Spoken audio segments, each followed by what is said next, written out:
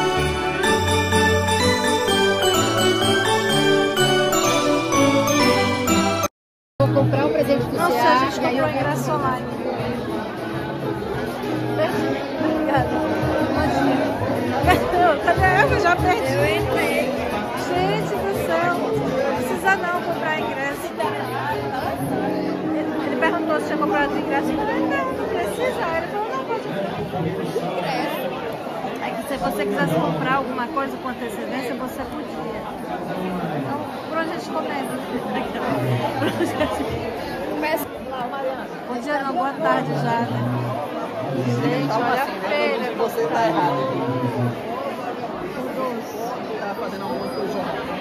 Mas tem pastel, tem duas filas pra comer pastel. Ah, eu quero.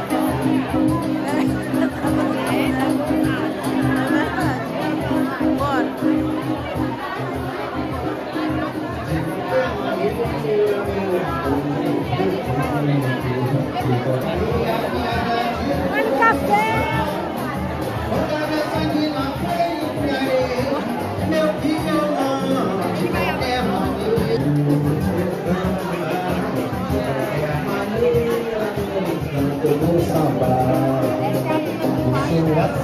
Será que tem coxinha?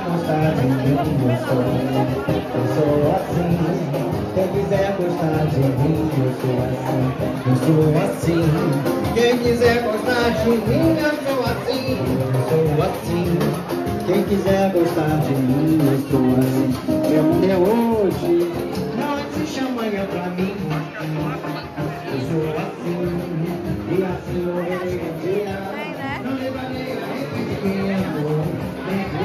And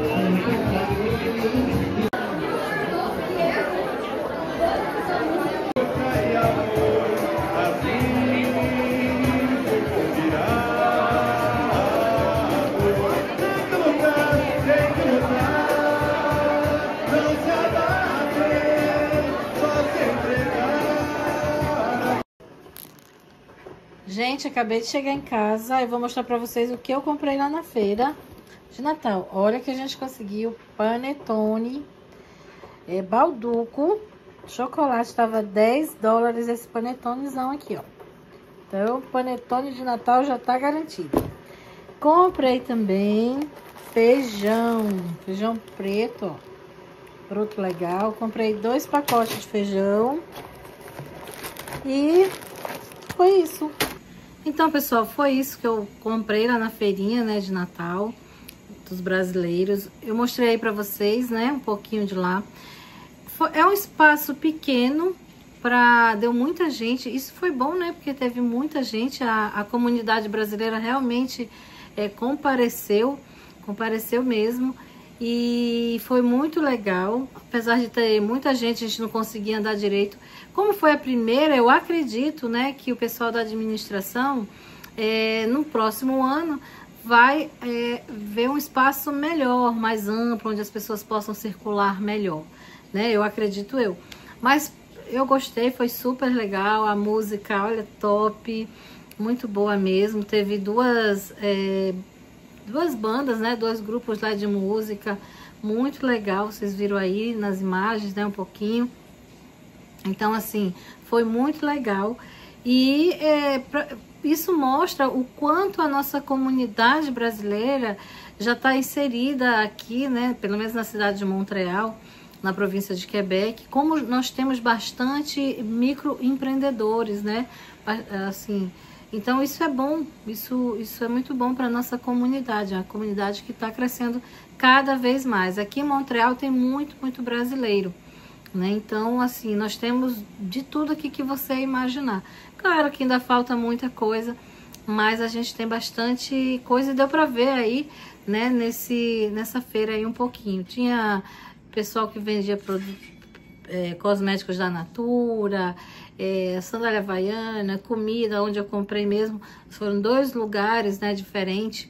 O Panetone foi num, em, em um empório e o do do feijão já foi em outro. Então, assim, aos poucos a, a comunidade aqui está crescendo, os empreendedores estão crescendo e isso é muito legal. Muito legal mesmo. Tinha até massagem, né? Masoterapia. Então, assim, o, nós temos bastante áreas aqui ainda a explorar, mas tem bastante áreas aí que já não, não deixa mais, gente, já não deixa a gente já com, com tanta saudade assim do Brasil. Então é isso, se você gostou desse vídeo, compartilha, se inscreve no canal, comenta o que, que você achou. E a nossa comunidade está forte ou não aqui no Canadá. Beijo e até o próximo vídeo. Tchau, pessoal.